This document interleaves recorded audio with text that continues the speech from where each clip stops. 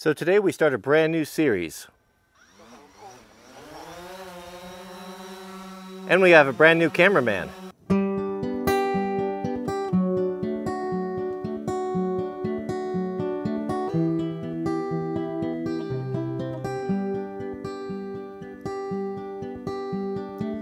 First the whisper, then the shout.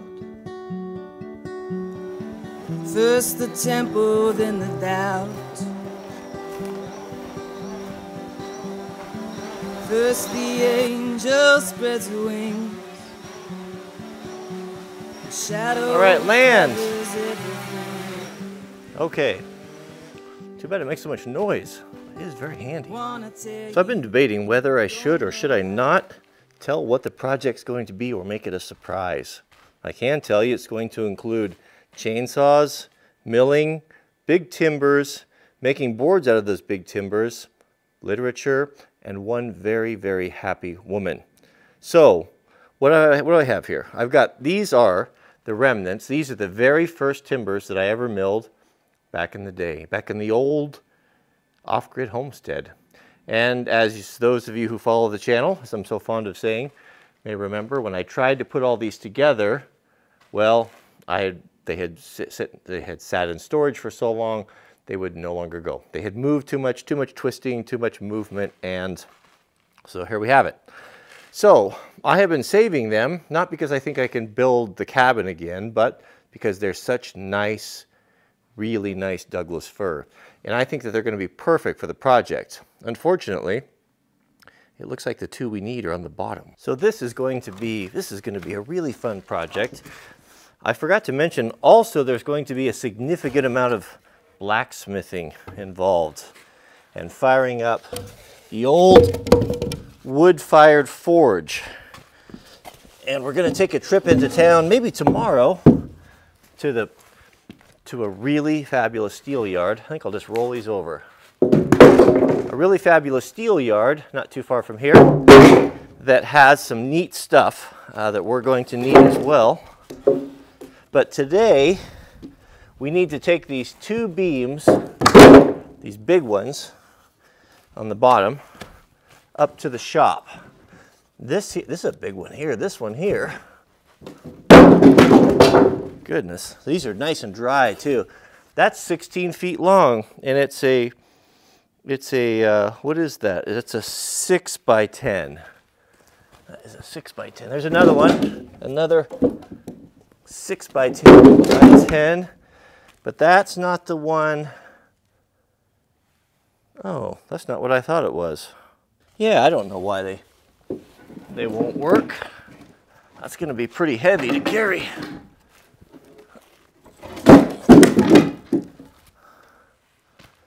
Oh yeah. We can get something out of that.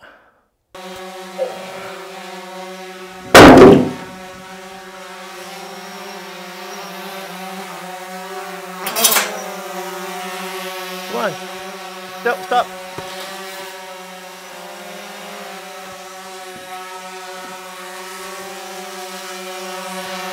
That's just too heavy for me to carry. I'm gonna have to go get the truck.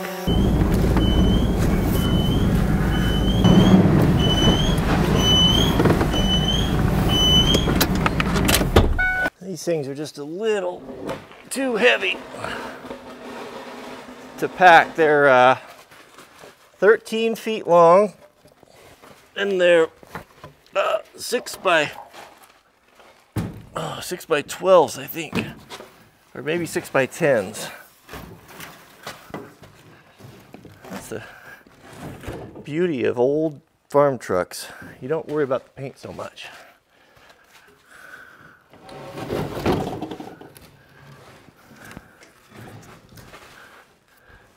Good, so I need a tractor.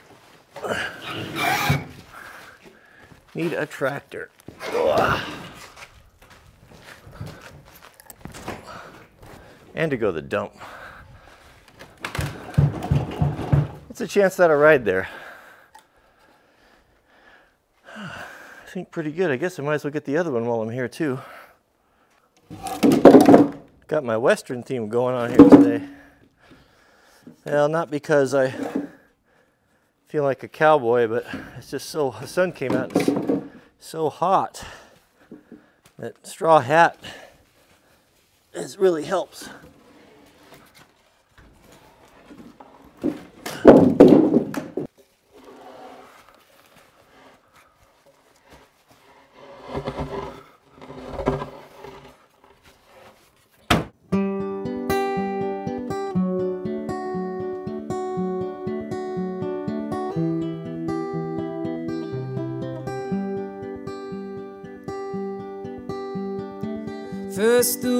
Whisper, then the shout. First the temple, then the doubt. First the angel spreads wings. The shadow covers everything. I wanna tell you, but I don't know how. Mouth the words, but they won't come out. I've been a liar, I've been alone, I've been a stranger in my own damn home. Ooh, that's heavy. All right, this is this is very heavy. This is going to be exciting. We're gonna make some. Oh, got up. Gonna make some boards today. Goodness, that's heavy. I can't believe it. I used to pack those things around when they were green. All by myself, I did all this. All right, let's see what we got. What we need today, it's got some splits in it. It's gonna have to be rustic. That's always tell myself when the wood's not very good, it's gonna be rustic. That makes me feel better about the whole thing. It's twisted. That's gonna just gonna have to be part of the charm. There's just no way around it. Oh my goodness, look at the twist in that. Boy, that's lesson learned when you're timber framing. When you start doing your notches, you gotta go, man. You gotta commit if you're using green timber. I can't believe it. I mean, it is straight up cold today. I've got three shirts on. I had two shirts on. I came outside and it was so cold I went and put a wool shirt on, August 2nd. Amazing. All right, so what we need, we need eight. We need eight full dimension two by tens. I think so. Is that what we have? Is this 10 or 12? Well, it was 10. It shrunk down a quarter. quarters. Nine. I think it's still okay. I think it's okay. So we need uh, eight of those at 60 inches. So we've got 60, and oh, we got plenty. We got a foot left over. That's not a problem. So what, we, what I guess, have I said what we're doing? We're gonna make, I think I did. We're gonna make some boards. We're gonna make boards out of timbers. What is a board? A board and a timber a timber. When is a ship a ship and a boat a boat? Correct me if I'm wrong. Maybe some of you guys in the Navy know this. I was always told that a ship is something that can't be loaded aboard another ship. So a boat is anything that can be loaded aboard another boat. Is that right? I don't know. So when is a timber a timber and a board a board? Well, again, I've always, how I've understood it is that I think six inches, six by sixes, anything in the six inch dimensions considered a timber, and anything below that is considered a board. Could be wrong.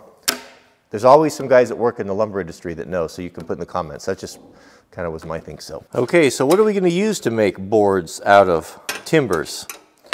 Well, not all of us have a pit saw or access to a pit saw, so for those of us who don't, we can use a chainsaw mill. This is a Granberg Mark, Mark series chainsaw mill. I know this is repetitive for some of you, but I always have to remember that there's 500 new people a day joining us on the channel, so um, that may have not seen this before. So what, are, what I'm doing here, so this is just basically a jig. This may re be review for some of you. Uh, this is just a jig that um, you slide your chainsaw into that allows you to cut your own dimensional lumber from logs. And what I'm doing right now, so we see right there is just a series of graduated numbers. I'm down here at the two inches, so whatever we set the jig at is what the thickness of our board's gonna be. But something just dawned on me. Before we do that, we better double check and see how much we have. So we need boards from this, right? So obviously, you know, we can't use that section. That section is going to have to be gone. So we have to see what do we have remaining. So we have here, what's this thickness? This is going to be, so we're at four inches exactly. Now, if I cut these at two inches, we're going to have a problem. We're not going to be able to get two inches out of here. Well, why? You say there's four there. Can you not get just not two go into four twice? Well, the problem is we need to compensate for the thickness of the kerf or the thickness of the chainsaw bar. So what's the thickness of the chainsaw chain and the chainsaw bar here? So the chainsaw chain, what's this kerf going to be? I'm going to, it's going to have to estimate it because this has got quite a bit set but I'm going to say, I'm going to say that this is going to be, I'd say it's quarter inch. I bet it's all of a quarter inch. So what we're going to have to do is account for that. So if I were just to set that guide at two inches, we would, yeah, first cut would be two inches, but the other one would be what? Well, it'd be an inch and three quarter. It'd be too thin. So we're going to need to, to sh uh, sharp, shorten these to an eighth of an inch, by an eighth of an inch. So that means our boards are going to be one inch and seven eighths. So as you're probably gathering, chainsaw milling is, I mean, we're not talking about some, some precision work here. I mean, it's just kind of a, oh, you know, I mean, you could get pretty close though. I mean, I, I, it's my experience, I've been able to cut within an eighth of an inch, right? Okay, so what we got there? So we got a graduated mark. Actually, that's pretty good. So we actually have uh, a mark on there at 7 eighths. And so let's, come on there, give me trouble, the camera's running. So we're gonna, I'm gonna come down there a little bit thinner. So we're gonna go, we're gonna put that right on that 7 eighths dot. And that's gonna compensate for the thickness of that blade. And so yeah, so ideally I wanted two inches, but I can live with inch and seven eighths. It actually, you know what, it might be even better. And so, you know, what I find in woodworking is that, you know what really looks good is things are, that are non-standard. When you build a, when you build a, let's say you're going to build a dining room table. Hint, upcoming episode. You're building a dining room table, and let's say you make your tabletop three quarters of an inch, which is perfectly fine. It, it'll work just fine. Lots of people do it. However, it doesn't make it very special. And what do I mean by that? Well, it doesn't make it very special because it's not unique. It's the same thickness everyone else uses.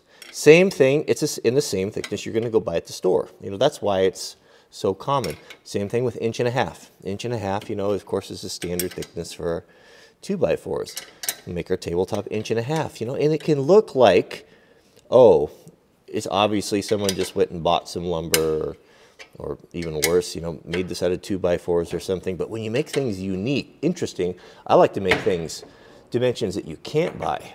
Three inches is always really cool. 13 sixteenths or 7 eighths instead of, uh, instead of uh, three quarters. And you, you might say, well, it doesn't make any difference. I mean, they're close enough, right? But it does it does make a difference. It makes a huge difference when you see it. You, would notice it's just a little bit heavier, just a little bit different, just a little bit unique. And that's what's nice about the chainsaw mill is that you can, uh, oh, I'm not paying attention to what I'm doing here, is, is that you can, uh, you can make it whatever you want to. You can, you can fulfill your wildest dream. So I'm happy to report that Mrs. Pants is doing very well. We've uh, cleaned her, dressed her wound and looked everything over. She's healing very nicely. We kept her pretty much immobilized yesterday, or we just made her stay in the house and took her out on the leash, but she's doing well.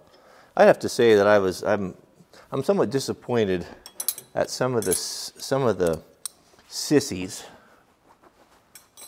Am I allowed to use that word anymore? Some of the sissies in the comments um, about this. I just don't understand what's happened to people, how people have gotten so squeamish and so soft and, and so uh, have such doubts of their own personal capabilities. It's, actually, this is the wrong saw. Uh, what I'm referring to is the, you know, you, you, can't, you can't do that. Who are you to do that, you know? And, and uh, you're, you're going to me mess it up and all that. Uh, you know, I'm, I've had a lot of training in this stuff. I'm not, I'm not, uh, uh, this is not something I'm doing for the first time. I've been uh, worked as a medic and lead medic, a fire department, paid firefighter. I've got a lot of a lot of experience like this, you know, and and uh, I mean, if that's if that's the way if that's the way you are, I mean, if you're too paralyzed by fear to do anything, and I made a judgment call on that, and I looked at it, and had it been outside of my ability, I would have taken Miss Pants to the vet. But I deemed it within my ability, within my abilities to safely perform this minor procedure, and and and I did it. I'm not afraid to to make those judgment calls, and and um, I mean, if you are, don't project. I guess I can't do anything about people who are. Just don't project your fear and and lack of a, a willingness to try something and to do things, and lack of courage to do things um, on the rest of us. It's uh, sad, disappointing. I blocked a lot of people yesterday because I just can't. I can't. I can't abide that attitude, and I don't want that type of person anywhere near me, or even in the comment section to even bring any get, gets people gets other people that are sitting on the fence puts them in doubt puts makes them pulls them down to their own pathetic level. So you if you if you wonder why you your comments aren't showing up anymore it's because there's a good dozen or two that are people that are gone. We won't be hearing from them anymore. I just don't I just don't like that. Safety first huh? Boy miss my wife mrs Wranglerstar she sees me running a chainsaw without chaps on, you don't even want to know. A lot of that is, you know, you've got to make judgment calls. You got to make judgment calls on when it's okay. There's not just a you can't. There's not just a blanket statement. You should always do this or you should always do that. You know, sometimes it depends. And I agree. Running a chainsaw, cutting brush, and and out in the woods, of course, absolutely. Um, but running a chainsaw mill is a very different thing. And the, the ability of a chain to, to chain, or a chainsaw mill to jump up off the timber and, and, to, and to get you, that's pretty unlikely, right? Uh, but uh, I don't know. It seems that it seems that make, being a safety Sally has somehow mistakenly been equated to being wise. If you are like safety, safety, safety, safety all the time, um, people think that, that they're being smart. And they're not being, sometimes, but they're not always being smart. Sometimes they're just being a safety Sally.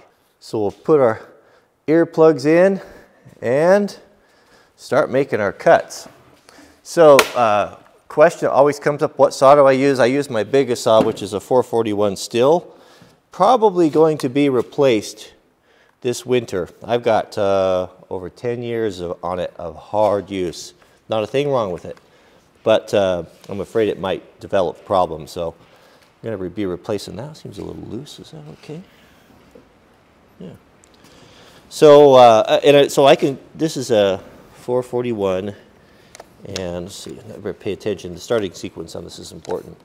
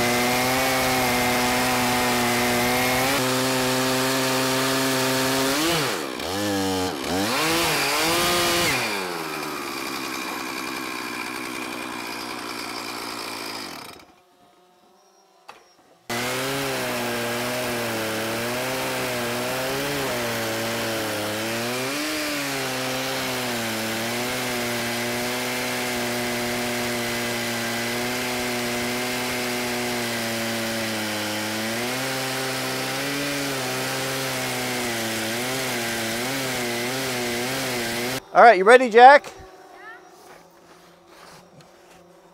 Ooh, that's heavy.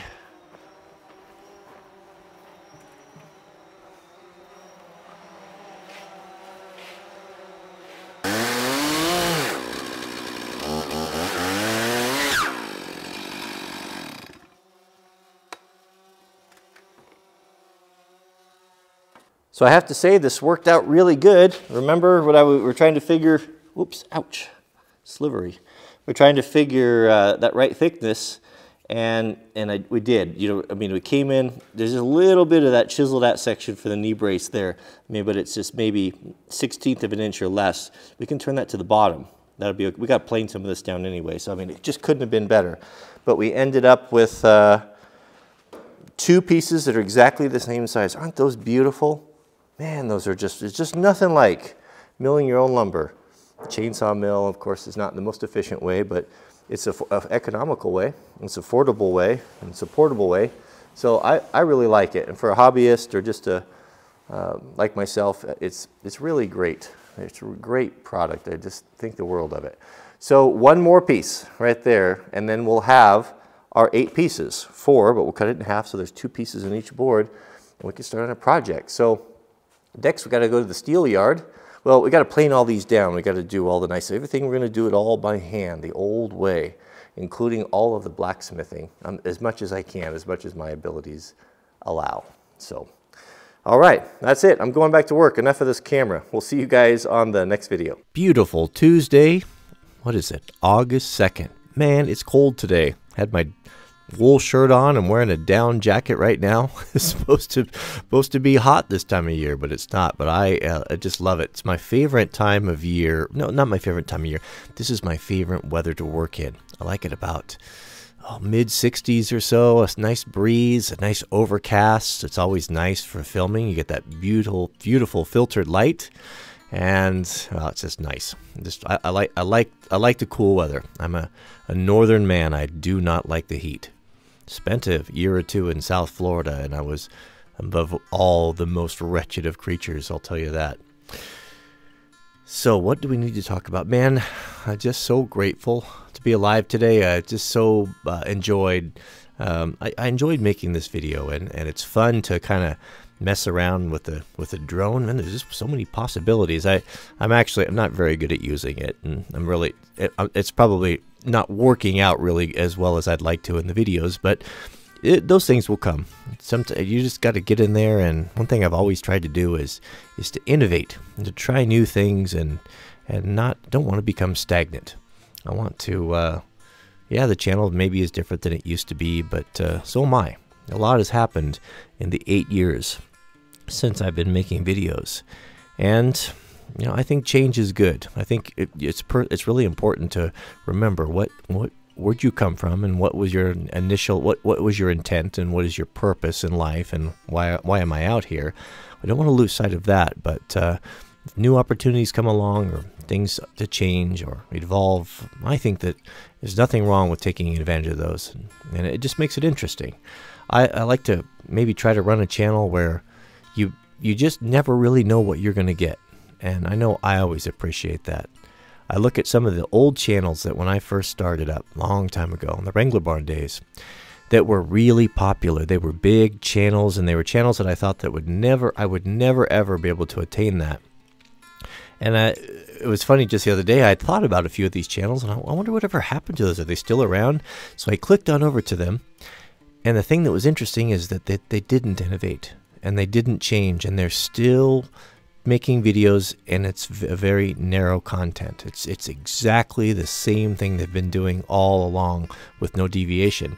And the channels have long since plateaued and, and it's just not that interesting anymore. And, and and nothing personally against them, but I th just think it's important to you got to be passionate about it. And when you do something for so long and you do the same thing year after year, it's hard to maintain that le level of passion and excitement and I do I do hear you know from some people that, you know I'm not going to watch anymore I'm leaving because it's not like it used to be and no it's not. And it's not going to be. It's going to have to be what I'm into what what I am excited about and the direction I want to go and those things change. So that's about all I need all I can say about that. Oh I know what I wanted to tell you. One last thing I need to, I, I've made Jack do a disclaimer on this, but so Jack up Jack shot a video yesterday, and he, I gave him a task. Uh, he needed to go fence a, fix a broken fence rail in our log fence around the front yard. I gave him no instructions. I just kind of told him what to do and pointed him at it, and he shot a video on that, which he'll uh, will be up today, and I'm going to link link over to that look at the for the little icon in the top right. If you click on that, that'll open up a menu, and you can uh, go over there and watch that. But I, would recommend you watch it because he did a great he did a, he did a great job on that. But he did cut a corner severely. Uh, and the worst thing about it is he said that he learned that from me, and I'll tell you right now, and I made him annotate it. I certainly did not do that, but uh, I wasn't too hard on him. It's uh, I told him uh, the right way to do it, and then I told him, well, you know, it's it's I, I, like to see you thinking outside the box. I like to see you thinking you, there was a problem, and you came up with the solution. You know, it didn't paralyze you. It didn't prevent you from finishing the job. You got the job done, and I gave him a big attaboy for that. And then, of course, explained to him how not to do it that time. But uh, great video. So I, I'd, I'd appreciate if you go over there and and watch that. I think you'll enjoy it. He puts a lot of work into this, and I think he's going to be. I just hope he's better than I am. I hope uh, someday I'll just be maybe holding a camera for him and and helping him with edit, and I'll just be an hourly man. And that would be fine with me. I'd be the proudest pop in the world. All right. Well, thanks for watching, and we'll see you guys on the next video.